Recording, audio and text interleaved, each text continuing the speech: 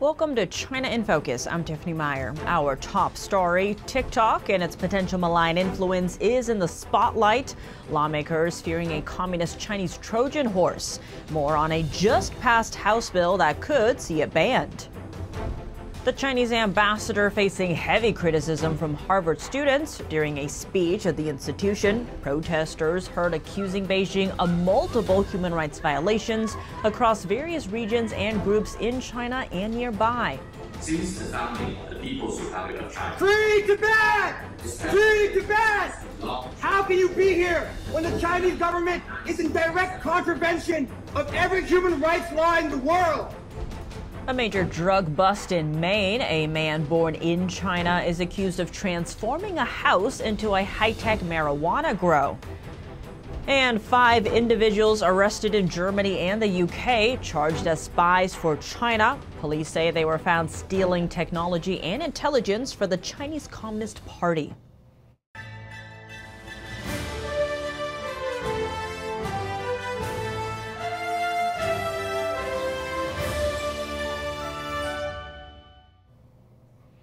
TikTok's future hanging in the balance. The House passed a bill that would force the app to either divest from its Chinese owner or face a ban in the U.S. A similar bill stalled in the Senate last month, but this time the ban is more likely to go through. NTD's Daniel Monahan has the details. TikTok is owned by Chinese parent company ByteDance. The bill passed Saturday would give the social media company 270 days to find a new owner. Lawmakers fear TikTok could be deployed as a tool of the Chinese Communist Party, which could force the company to turn over user data. Another concern is that the CCP could use the company as a Trojan horse, boosting TikTok content favorable to its interests. Senator Mark Warner said that 170 million Americans use TikTok a day, with many young people getting their news there. Speaking on CBS, the idea that we would give the Communist Party this much of a propaganda tool, as well as the ability to scrape 170 million American million Americans' personal data. House Republicans attached the TikTok bill to funding for Ukrainian military equipment and Israeli missile defense. That puts the pressure on Senate lawmakers to consider the whole package in a single up or down vote. Policy analysts expect the Senate to take up the aid package quickly, giving it high odds of passage. President Biden has previously said he would sign the TikTok legislation if it reached his desk. TikTok has vocally opposed the bill, for weeks waging an intense lobbying campaign to defeat the legislation. It argues it violates users' First Amendment rights. The social media company has spent $5 million on TV ads opposing the bill since mid March and is threatening to go to court if it passes. TikTok has encouraged its users to contact Congress, and some lawmakers have received profanity laced calls. California Representative Ro Khanna, a Democrat, voted against the legislation. He said he thinks there could have been less restrictive ways to go after the company that wouldn't result in a total ban. Daniel Monahan, NTD News. A $95 billion foreign aid package passed the House Saturday. 8% of that money would go toward countering China, while the rest is marked for Ukraine and Israel. The Senate is expected to pass it as soon as Tuesday. President Biden has promised to sign the bill. Ukraine would get the lion's share $60 billion to help fight Russia. We appreciate every manifestation of support for our state and independence, our people, and our lives, which Russia wants to bury in ruins. America has shown its leadership from the first days of this war. Israel comes in second, getting over $26 billion. The package comes after Iran fired hundreds of rockets and drones at Israel. Over $8 billion would focus on safeguarding the Indo Pacific region against the Chinese regime's rising threat. The money would help the U.S. develop submarines, support Taiwan's defenses, and bolster U.S. military capabilities in the region. Taiwan is under increasing pressure of a potential Chinese invasion. Beijing sent 14 warplanes near the island over the weekend. Taipei said it would discuss with Washington how best to use the funding. The Chinese regime sees Taiwan as part of China, despite never having ruled it. Besides the money, the massive foreign aid package would impose sanctions on Iran, China, and Russia. It would also force social media app TikTok to separate from its Chinese parent company or get banned from U.S. app stores. Plus, the package cracks down on fentanyl trafficking. House Speaker Mike Johnson's job is at risk for advancing this aid package. Some GOP lawmakers are not happy about him giving more aid to Ukraine. Congressmember Marjorie Taylor Greene threatened on Sunday to oust Johnson if he doesn't resign.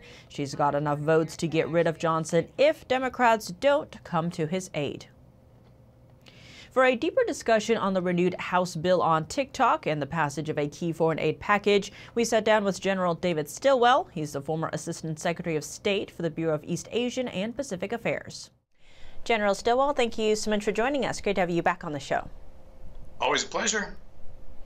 Now, the House has voted to approve $95 million billion in foreign aid for Ukraine, Israel, and Taiwan in the Indo-Pacific. There was another bill, a national security bill, that would force TikTok's Chinese parent company ByteDance to sell. Now, what do you make of this combining, if you will, of foreign aid plus the TikTok bill? The great thing about our system and about our Congress is that it's deliberate, it's slow. We don't make any like sudden moves, which is as you know painful as it can be with things like TikTok, it really is the right answer. It doesn't have to happen right away. We need to approach it in a very thoughtful way. We're not wanting to kill TikTok. You in the U.S. who like it, you can use it. We're just going to get the nefarious hand of the Chinese Communist Party out of our open media system. On the flip side, right, Forbes is noting it is unlikely TikTok or the Chinese regime would agree to selling it. There's also talks of legal challenges. What do you make of all of that? Where do you see this going? They're using our Twitter to tell American people that you need to call your representatives and tell them that if, and they're giving them the script to it, saying, if you ban TikTok, I will commit suicide. I mean, these are well planned. Um, they definitely understand our system well, and they're using our system against us. Meanwhile, we're doing not a thing in the in reverse. The disparity between how much access they have at our system, how much they abuse it, and how little access we have defines information warfare. You were talking about uh, Kerry Gershaneck's book, Political Warfare. That's exactly what they're doing. They're they're they're taking this is full advantage. This is they have uh, unfettered uh, advantage here, and they're taking you know they're using it smartly. The solution is also simple: as we stop allowing them direct access to our system. It's not censorship; it's defense. Why does the Chinese regime or ByteDance not want to sell TikTok? What is it giving the Chinese regime? It gives them direct access to American people. Remember, their goal isn't to support one party or, or the other in a electoral year. This is going to be a very tense year already. They don't care. All they care about is the anger and friction that that creates. Why would we put up with that? We already have those. We have Facebook. We have those that, that haven't weaponized it. General Stilwell, thank you so much for your time. Thank you. We'll see you. Protests against the Chinese Communist Party broke out at Harvard University over the weekend. It happened when the Chinese ambassador to the U.S. was invited to give a speech at the Institute in Boston. He was interrupted at least three times by student protesters during the speech. Watch. You come to paint the illusion of a prosperous China, but your hands are painted with blood. The speaker on the stage is Chinese Ambassador Xie Feng. He was invited to give a speech at the opening ceremony of the Kennedy School's China Conference. Some of the Saturday protesters were Harvard students.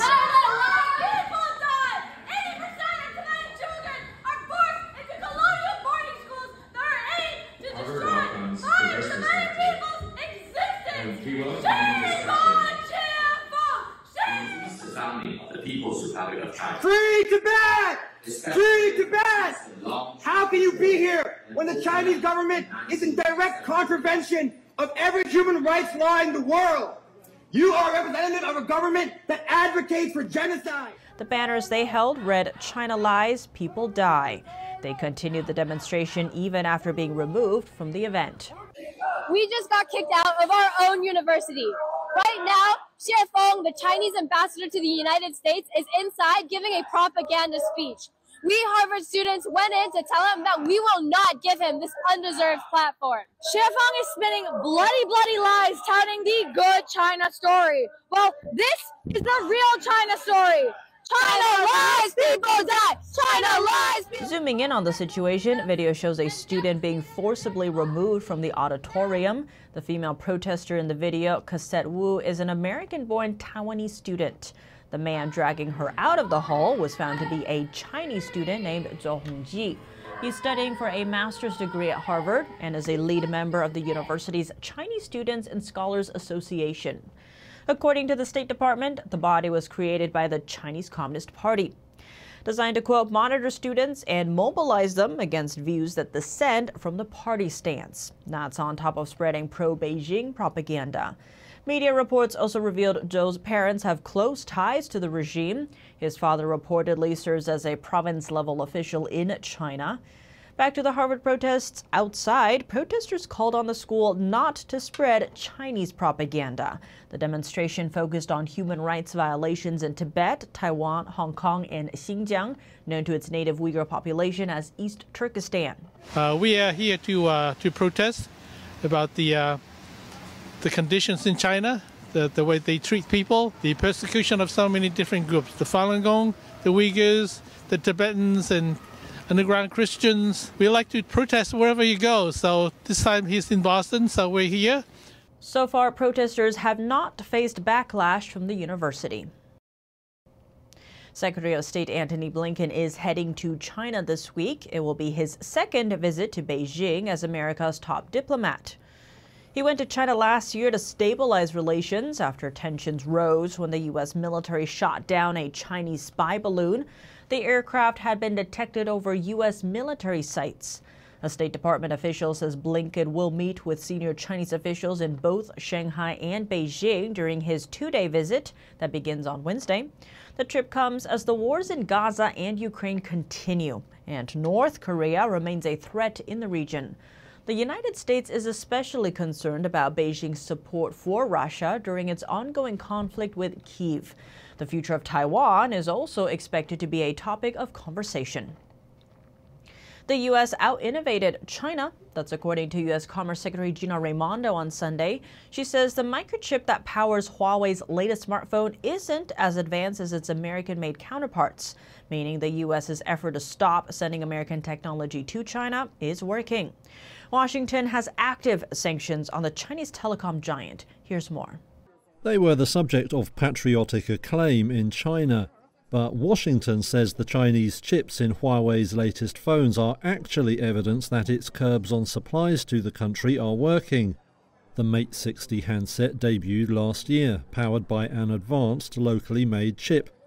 Last week, the phone maker unveiled new models thought to use an upgraded version of the silicon. The chips are reportedly made by China's Semiconductor Manufacturing International Corp. In Beijing, that's been cast as evidence of the country's ability to overcome restrictions on the supply of advanced semiconductors. Over the weekend, US Commerce Secretary Gina Raimondo said the reverse was true. Speaking to CBS, she said the Chinese chips were nowhere near as advanced as the latest US models, and hence proof that the supply curbs are working. Huawei has been on a Washington blacklist for years. That's over allegations that it could help spy on Americans, charges the firm strongly denies. Restrictions have also been imposed on Chinese semiconductor manufacturers. The Biden administration says it continues to evaluate whether Huawei's new chips have violated export rules. A major marijuana bust in Maine is the latest example of what authorities are calling a new trend. The DEA is looking into criminal groups from different countries growing illegal marijuana in around 20 states, including Maine. In a high profile incident, authorities arrested a man born in China. He's accused of transforming a house into a high tech grow operation. Police arrested Zhishen Guo and seized 40 pounds of marijuana in February. Police zeroed in on the operation in part because of the home's utility bills. After the home was purchased, electricity use went from around $300 a month to nearly $9,000. That's consistent with heat pumps, lighting, and other gear needed to grow marijuana. The legality of marijuana cultivation in states like Maine tends to provide cover for illegal grow operations. The marijuana is then trafficked in states where it is illegal. On Friday, Guo was ordered to be held without bail on federal drug charges. A detention hearing is scheduled for Monday.